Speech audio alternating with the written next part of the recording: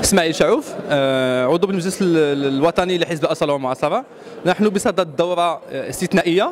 اللي البرنامج ديالها هو استكمال الهياكل خاصه تم انتخاب المكتب السياسي واللي تم كذلك بالاجماع تم المصادقه على القانون الداخلي واغلب المداخلات انكبت او آه، اشارت الى ضروره